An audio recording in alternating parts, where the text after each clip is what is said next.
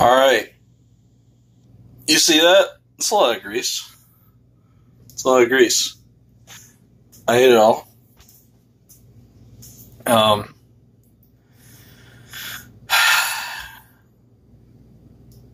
Now that your judgments are out of the way, let's talk about the mixture. So, this is basically it. There, well, there's wasabi too, but on my previous take that I didn't like as much because it was three minutes long, and I don't think it needs to be that long, I threw this. So it's back now. This is the second take, and we're doubly serious about this six Pete. So, you don't really need this that much. I put like fucking two peas worth of this. I mean peas as in the vegetable. What's really important is this, probably. I I really don't think you need that. So just ignore that shit. So I would do one to one. That's basically what I did. I did a little more lime than soy sauce, but one to one's probably the ticket, or close to.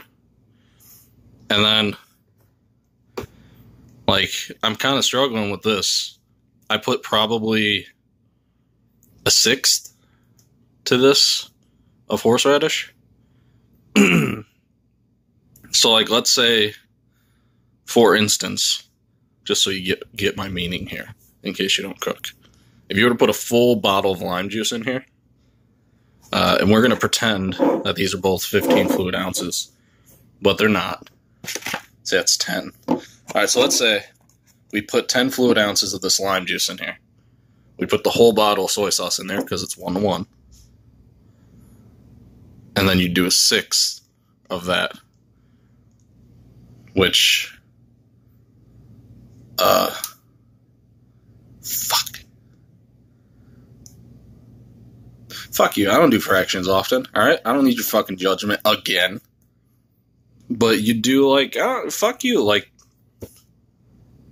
fucking two and a half ounces of that. That's good enough. That's like a fourth. I mean, it's not even close to the same. Do like one ounce of that. And there you go. There you go. You got like a, a tenth. It's perfect.